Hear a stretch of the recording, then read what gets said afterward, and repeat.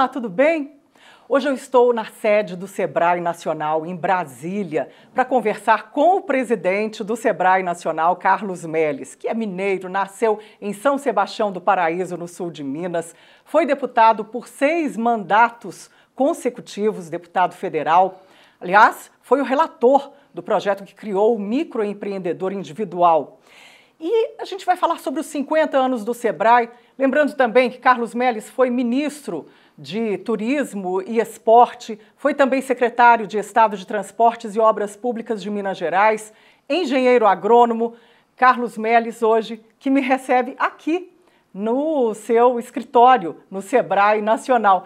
Carlos, tudo bem? Muito obrigada obrigado, por me receber obrigado. aqui tão bem. Com que alegria. Que joia. Emocionado obrigada, que recebo viu? essa menina querida, né? Que seja muito bem-vinda. Ah, com a sua equipe do Tempo e a gente falar de um assunto extremamente caro, importante ao é. Brasil, que é a micro pequena empresa. Que tem segurado o Brasil, Tem né, segurado né, o Brasil. E, e, é muito interessante, e com, cumprimento a todos que estão conosco, nos ouvindo, é, nós vamos falar um pouco dessa história da micro pequena empresa no Brasil e no mundo, o que representa esse, esse grupo de empresas.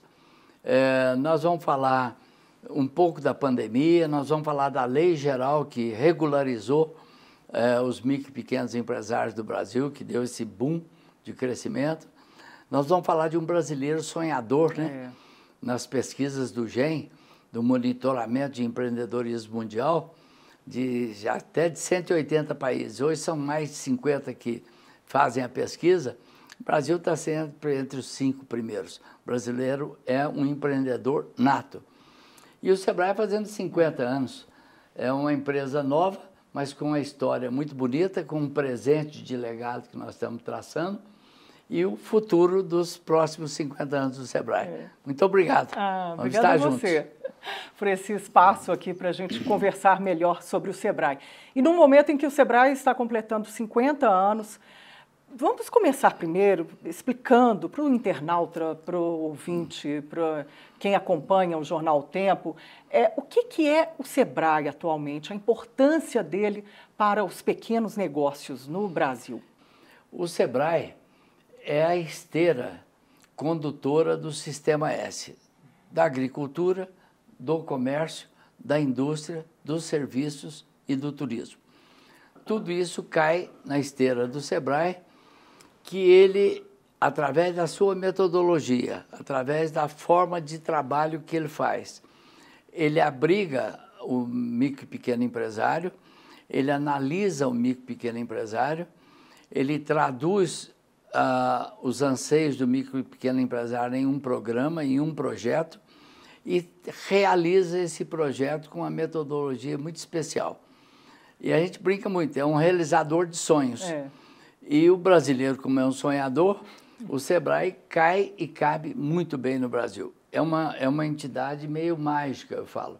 O Sebrae, onde ele atende, o grau de, de, de visibilidade, o grau de, de mostrar a aceitação do Sebrae é sempre perto de 90%.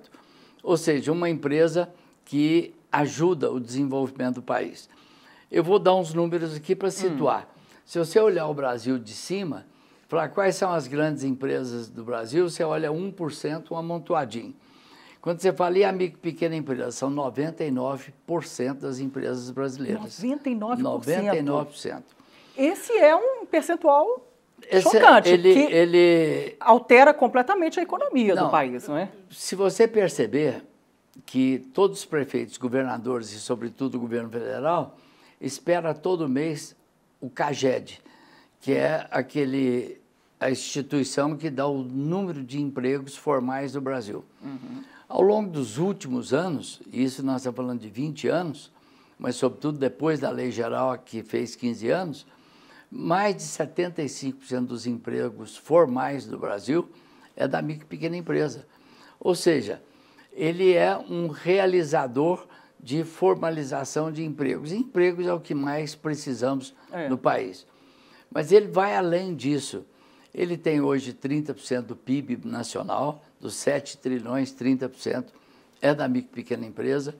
54% dos empregos formais estão dentro do SEBRAE e, contando os informais, vai a 84%, ou seja, a empregabilidade está na micro e pequena empresa. O volume maior, não é? Volume é muito grande e com uma, uma característica, todos formalizados. Sim. Essa talvez seja o grande ganho que o Congresso brasileiro, o Senado e a Câmara deram ao povo brasileiro. Nós trabalhamos um grupo, você bem colocou, seis mandatos, trabalhando muito em duas áreas fortes, que era a área rural, que era a frente ruralista, é. e a frente do simples. Essas duas frentes, uma transformou a frente parlamentar é, da agricultura e o outro se transformou a frente parlamentar da micro pequena empresa, presidido muito bem pelo senador Jorginho Melo, pai do Pronamp. Nós vamos falar um pouco é, desse crédito formidável. Importantíssimo. Mas é importante ver essa história, porque nós perseguimos por uma orientação desde a constituinte do Afif Domingos, do Guilherme Afif Domingos, é. um regime especial para a pequena empresa, que nós chamamos de simples. Uhum. Esse regime deu a primeira grande reforma ao país. Ele, primeiro, blindou a Previdência, todo micro pequeno empresário paga 11% da Previdência, mas criamos um regime tributário especial. Esse foi o grande segredo. É, porque a robustez não é a mesma, né? De uma grande empresa para um pequeno negócio. Né? E, e, na verdade, o que, que acontece bastante nisso? E eu chamo a atenção. Enquanto a carga tributária de uma empresa brasileira é de 33% até 35%, é.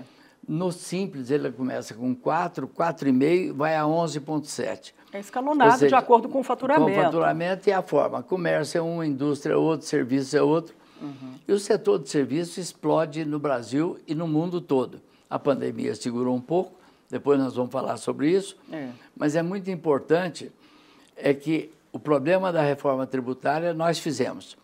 O problema da reforma do, do, do, do, do reforma trabalhista, trabalhista, em parte, também. Mas o da Previdência nós fizemos lá atrás. Está resolvido. o pequeno negócio tem garantido. E tiramos o brasileiro da informalidade. É. Esse talvez tenha sido o ponto mais importante, Sim.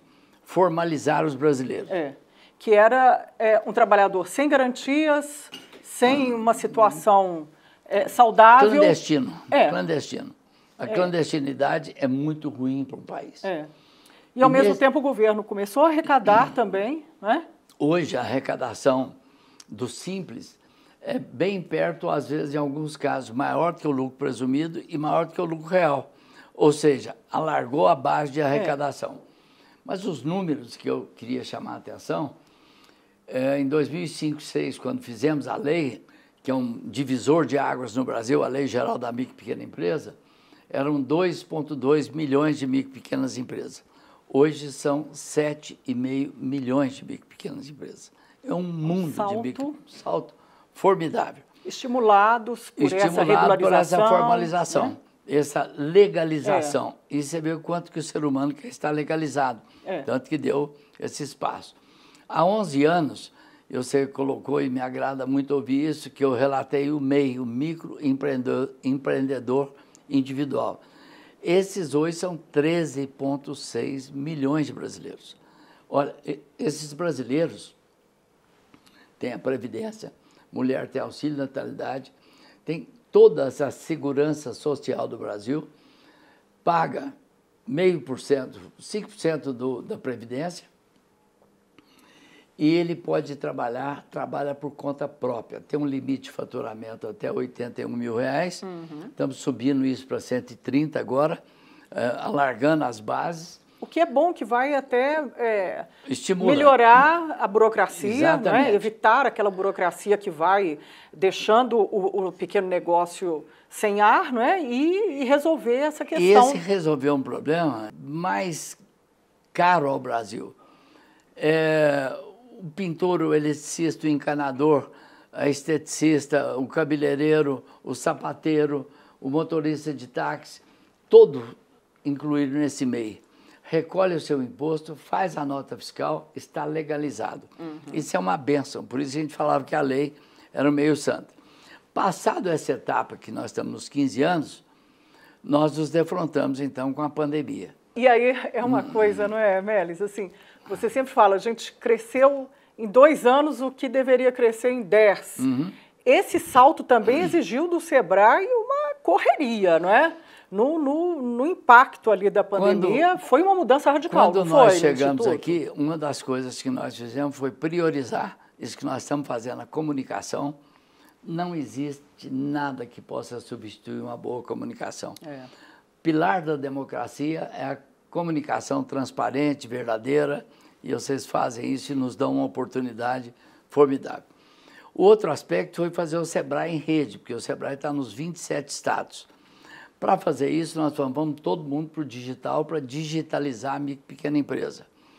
Essa priorização nossa deu um resultado formidável, porque quando chegou a pandemia, nós estávamos melhor preparados do que pensávamos que estávamos. Uhum. E aquilo deu um choque num primeiro momento, o Sebrae veio à rua e falou assim: pequeno e microempresário, não tenha medo, o Sebrae está ao seu lado. Compre do pequeno, apoie o pequeno, crédito, cursos. Criou Isso, marketplace, olha, né? E a gente ouvia, a, viu, a gente ouvia o seguinte: não, eu não sou digital, é. mas 83% hoje vendem pelo WhatsApp. É, muitos e muitos vendem pelo Instagram, muitos vendem pelo Facebook. Ou seja, a gente era digital sem saber que era digital. É. E o Sebrae veio fazer essa ponte e ajudar a, a pavimentar esse caminho todo. O Sebrae foi, foi o parceiro, estendeu a mão de favelas uhum. até grandes empresas e experimentamos uma coisa nova, que é o tal do marketplace, é, do, esse... mercado, do mercado é, virtual. Começamos com a Magazine Luiza, com a Amazon, com o Mercado Livre é, trazendo a oportunidade do pequeno ser associado a essas marketplaces, vender por eles e vender para eles também. Uhum. Uma coisa, um, um jogo do ganha-ganha. É. Então, esse crescimento todo, é, o, o, a procura de cursos foi uma coisa estonteante, mais de 2 mil por cento. Ou seja, o brasileiro respondeu bem à crise, uhum. não teve medo da crise. E se reinventou, né? E até o próprio Sebrae também a gente pode dizer isso. Podemos dizer que ele se reinventou. crescemos juntos, nos é. reinventamos juntos. E o Sebrae fez, tem feito questão de ser uma fonte de dados boas, confiáveis. Uhum. Pesquisas, pesquisas com a Fundação Getúlio Vargas, é. Dom Cabral de um lado, a Manaquei do outro, é, cercando bem de ciência e tecnologia, para que a gente tivesse. Nós tivemos mais de 20 jornais nacionais no sentido de resultado de pesquisa, uhum. confiáveis, palpáveis, que a população acredita. E oferecer ferramentas também, ferramentas. não é? Para o pequeno negócio saber é, por onde andar, é. para onde seguir, não é? avançar. Nesse, nesse aspecto das ferramentas, uma das coisas que nos traumatizava muito é o crédito.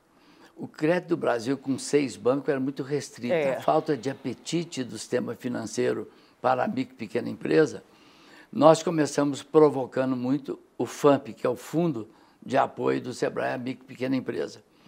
Mas, como eu disse aqui, a Frente Parlamentar, o Congresso e a Câmara, o senador Jorginho Melo, é, trouxe o projeto do Pronamp, e hoje são quase 800 mil contratos é, do Pronamp nós criamos um novo ambiente para o crédito da pequena empresa. Deu concorrência e fez os bancos também se movimentarem, e, não é, Melis? E trouxe a economia para um outro nível.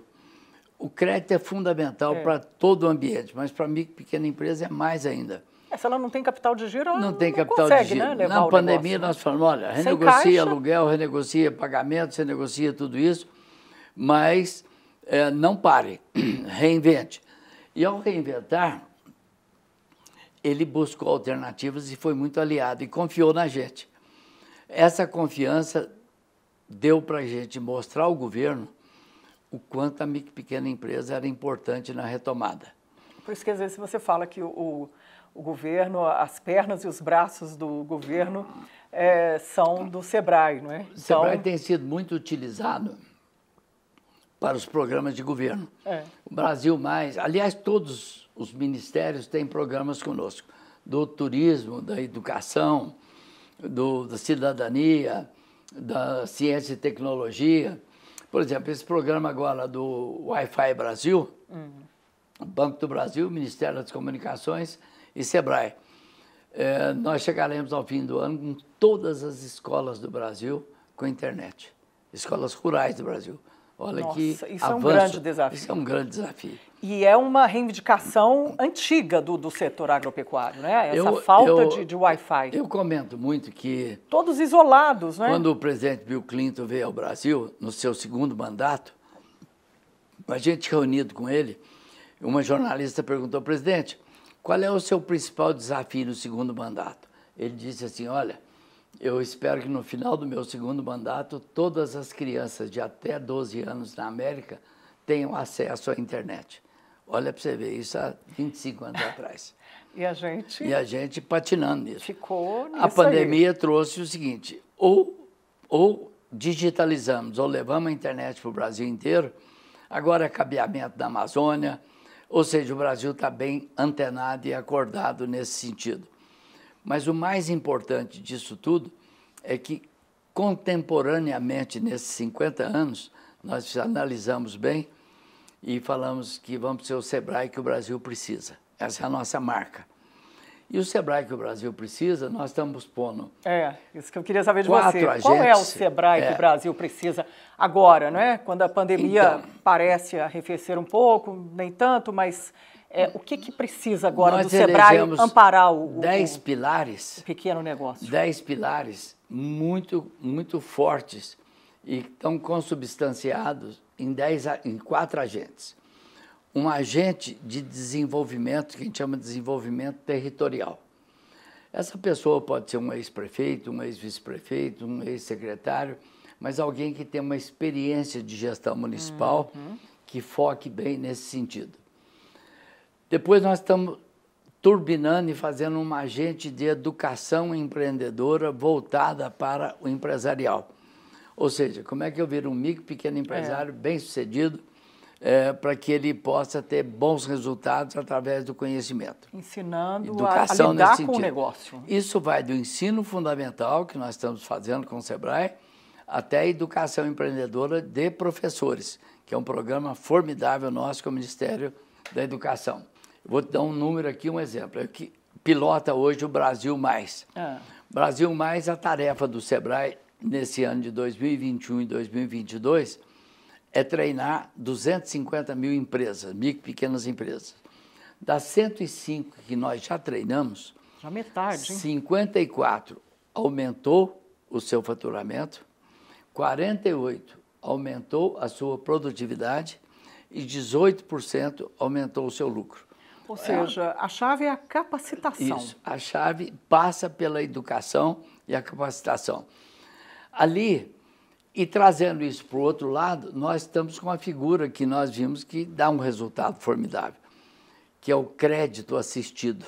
Hum. Não é nem crédito orientado, é assistido crédito é, vendo o break-even, o ponto de equilíbrio, vendo rotatividade é. de mercadoria, ver compras em conjuntos. Entender estoque, né? Isso. Todo aquele cipoal, né? Cipoal, digamos assim, todo aquele cipoal. Do, do negócio. E aí vem coisas que eu queria ser feliz de fazer isso bem feito, de que forma? O Cidade Empreendedora é um programa do SEBRAE que nós vamos mostrar aqui, que ele tem 10 eixos de desenvolvimento. Ele começa hum. a falar para o prefeito, prefeito, a sua receita não condiz com a sua despesa.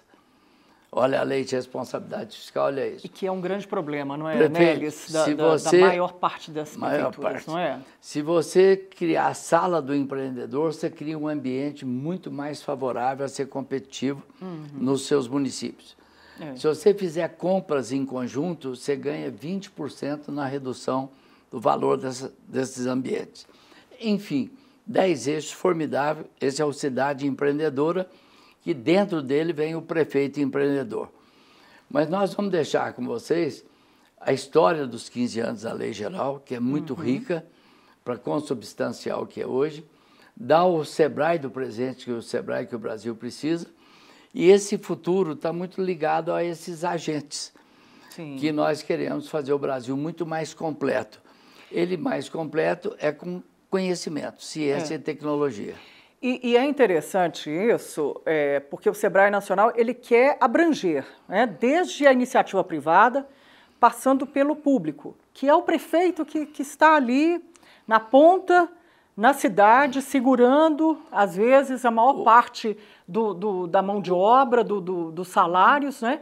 E ele precisa criar alternativas, né? A gente vê que mesmo prefeituras com grandes áreas de, de atividade econômica ficam dependentes ali daquela atividade. Perfeito, em Minas a gente perfeito. tem muito isso, né, Melis? Atividade Olha, minerária. É... Então, esse trabalho do Sebrae vem para preencher essa lacuna. Esta semana a gente tem o prêmio do prefeito empreendedor em Minas. Está correndo isso no Brasil todo.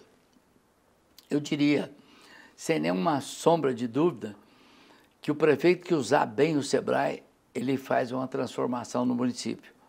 É muito rico em termos de métodos e de metodologia que ajudam a gestão. Através não só do conhecimento, que traz através da metodologia, é. como do resultado prático, aquela pessoa que te acompanha no dia a dia. Uhum. Posto isso, é, os ministérios todos, quando a gente fala que o SEBRAE tem sido muito braço e as pernas é. de programas públicos, é que a execução de programas públicos do governo, nós estamos aliados a todos eles, servindo de esteira uhum. para esse desenvolvimento. Então é um trabalho meio, meio santo, muito positivo, muito é, positivo. É, é, uma, é uma caminhada é, longa, né? Longa, longa. Agora, é, é, o SEBRAE tem aí os, os, é, as superintendências nos 27 estados, mais o Distrito Federal. Como que cada estado tem aí se comportado em, agora nessa nova fase da economia? O, o Sebrae, que, você tem visto? O Sebrae nós temos 7 mil colaboradores de um nível muito positivo, muito alto de educação é um time de excelência. Uhum. Nós temos três dirigentes em cada estado, um superintendente, um diretor administrativo e financeiro e um diretor técnico, que é como nacional. Uhum. O nacional recolhe, o recurso do SEBRAE vem de um recolhimento das grandes empresas, e aí eu já faço uma coisa seguinte, por exemplo, eu trabalho com a Petrobras o encadeamento de pequenas empresas para fornecer o, a Petrobras é o Sebrae que faz. Uhum. Da Siemens é o Sebrae que faz. Da Vale é o Sebrae que faz. Cria seja, esses pequenos Sebrae fornecedores. Cria né? essa cadeia. É. Como lá nós temos em Minas a Fiat, é. foi aquela cadeia toda que Betim floresceu. É, aquele cinturão todo que a gente vê ali cinturão todo. Então o Sebrae também tem essa característica muito forte de fomentar o desenvolvimento do pequeno para fornecer para o grande. Uhum. Isso é muito positivo também. É. Mas eu diria que nesse, nesse 50 anos que nós estamos vivendo, o balanço que o Sebrae faz é de que o mundo inteiro gira em torno da micro e pequena empresa. Por uma coisa muito simples, você vai ver que nós trabalhamos sobre emprego e produtividade de uma maneira forte. Uhum. É, nós trabalhamos muito forte em cima da desburocratização. E esse é um avanço grande também, Lenice. É, a, a, fiscalização não é mais punitiva, ela é orientadora. É, você, para ter um restaurante bom, higiênico, você não precisa ter inox, azulejo até o teto, inox. É, você, higienização é diferente de luxo. Uhum. Isso está trazendo ao Brasil um novo mundo, um novo ambiente. O gov.br está trazendo um outro ambiente também.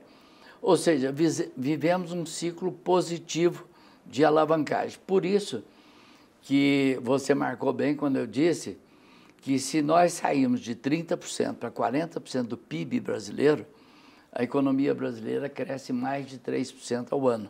Olha a importância da micro e pequena empresa. É. Gera emprego e gera desenvolvimento. Você acha que isso acontece num, num, tempo aí de quantos anos? Dá para fazer uma projeção, assim, um plano plurianual para a gente chegar dá, a essa importância do, do, pequeno negócio no dá, PIB? Dá, nós estamos com algumas coisas. Vocês vão ver aqui um, um assunto muito caro a nós, chama-se indicações geográficas.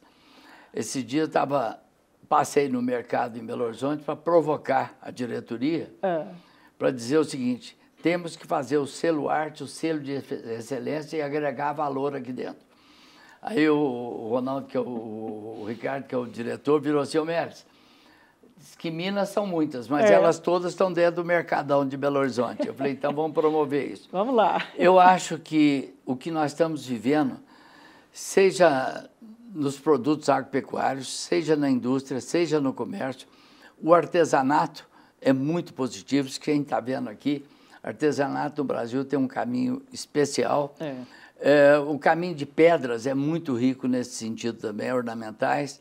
Sim. De modo que a gente tem espaço para chegar em 40%. A nossa meta é em 10 anos. É economia criativa. A economia né? criativa, isso é facilita muito. É, Obviamente. Em 10 anos, então, 10 anos. chegar a esse ponto. Obviamente, a, a, a pandemia nos segurou. É. Mas a gente espera que esse ano, que é um pouco mais difícil, mas a partir do ano que vem a gente deve crescer acima dos 2%, 3%. E, e na geração de empregos também, ela Bom, acompanha esse movimento? Esse é o ponto forte. É. A micro pequena empresa continuará sendo a maior geradora de emprego do Brasil. Buscamos, através desse emprego, aumentar a produtividade. Nosso ponto forte e se aumenta a produtividade junto com a escolaridade, junto com o conhecimento. Sim. E dessa forma o Sebrae está muito focado em melhorar a produtividade do brasileiro. Carlos Melles, presidente do Sebrae Nacional. Hoje aqui nós estamos em Brasília, sendo recebidos pelo Melis no, aqui no escritório dele, muito bonito, né? E você também falou aí da, da do artesanato, né, Melis? E você é, tem obras de arte aqui, não é? Aqui, é. É, tem São Francisco de Assis, uhum. tem anjos, não é? tem todo uma, um trabalho na madeira. É, Me e... levaram em a Chica daqui a semana passada. Ah, meu Deus, não pode. Vou ter que pôr outra. É patrimônio mineiro, patrimônio né? Mineiro. É. é, é essa, essa essa devoção toda, isso te ajuda nesse trabalho árduo do dia a dia, né? A gente, a gente brinca muito que você tem o intelectual, é, você tem o emocional, é. mas o espiritual conta muito. É, a gente se completa nessas três versões e acredito muito nisso. E o Sebrae ajuda a gente a fazer isso. O Sebrae leva boas notícias, o Sebrae é realizador de sonhos, como eu disse o ambiente é positivo, é posi o positivismo é, do empreendedorismo alimenta muita gente. Uhum. Então, estou muito feliz de estar aqui ajudando o Brasil. Bom, conta um pouquinho para a gente essa, essa formação, de, de onde que vem esses recursos do SEBRAE para promover tantos projetos, tantas ações aí em benefício do, do microempreendedor? Minha parede aqui é muito cheia de quadro de gráfico, é. né? E ali está a arrecadação do sistema S, do FNDE, do SEBRAE, uhum. de todo mundo.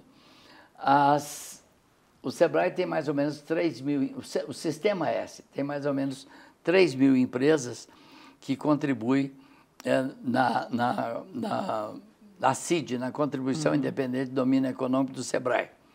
São 100 grandes empresas, começando pela Petrobras, Vale, como eu disse, é. que são as maiores contribuintes e a gente dá uma atenção muito grande, porque esse encadeamento que do desenvolvimento de novas tecnologias sai muito do pequeno para o grande. Uhum. E, aliás, nem, ninguém começa grande, todo mundo começa é. pequeno para ser grande. O Sebrae tem uma receita anual em torno de 4, 4,5 bilhões por ano, depende muito da economia. E nós gastamos isso em investimentos, em programas, em projetos, em treinamentos, em educação empreendedora. Uhum. Esse talvez seja o grande milagre do Sebrae é. de trazer conhecimento. O Sebrae agora está numa nova empreitada também de levar mais comunicação ainda ao empreendedor, ao microempreendedor, ao, ao, ao médio empreendedor. Como é que está agora esse trabalho? Tem eh, TV? Conta para gente Tem. um pouco esse trabalho todo. O Sebrae priorizou, como eu disse no início do, do nosso mandato aqui, a comunicação como ponto central. E seja nas redes, seja no LinkedIn, é, a marca Sebrae explodiu em termos de valorização. É, nós demos, sim, muito cuidado de trazer as boas novas, de trazer transparência E agora, nos 50 anos, nós estamos lançando a nossa agência Sebrae de Notícias, uhum. nós estamos lançando a TV Empreender, que é uma televisão que vai ser exclusiva para o empreendedorismo. Ah, é? Ele vai acessar? Vai, é, vai, vai ter um canal específico? Vai ter um canal específico. Mas é Nós... canal fechado? É, é, você pode adiantar alguma coisa assim do, do, do lançamento? É, eu espero que agora em julho a gente tenha essa formatação, mas vai ser um canal fechado, né, Luiz? É isso? Um canal, um canal fechado. Mas o Sistema S vai, vai participar conosco. É, tem vários parceiros já pela importância é, que seja da agricultura, seja do comércio, seja da indústria no próprio turismo, é, estão interessados em ver como a gente traz essa metodologia e traz esses bons exemplos de empreendedorismo para o brasileiro. Esse é um desafio que existe a vontade, existe a demanda e o Sebrae tem um conteúdo. E nós Sim. vamos então usar isso bem de uma forma bem didática, é, numa televisão que a gente possa ensinar cada vez mais, aperfeiçoar o brasileiro na sua, no, na sua missão de empreender. Uhum. É, vem aí um novo governo, tanto em âmbito federal como estadual.